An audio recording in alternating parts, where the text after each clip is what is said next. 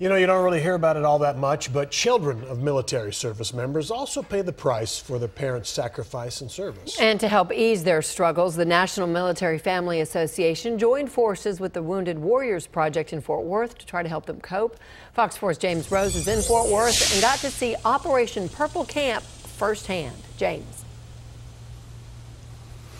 Well, Steve and Heather, the YMCA is also participating by providing uh, the camp right here. It is called Camp Carter in Fort Worth. Now, there are roughly 100 participants ranging in age from 7 to 16 years old. And the one thing they all have in common is trying to adapt to the military life.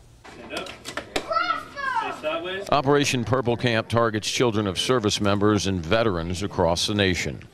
Well, the food's good, it's sunny, and they got a pool, and they have a lot of activities to do. It's more than just good food and fun, it's a strategic gathering.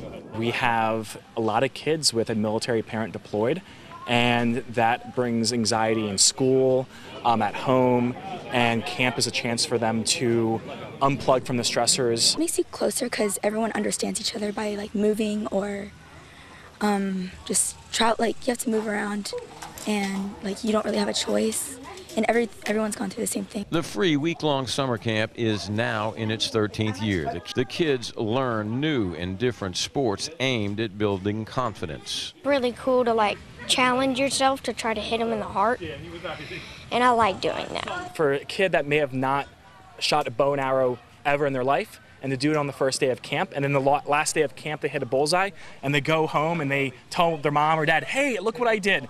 And they carry on that confidence and that sense of resiliency into the classroom and home.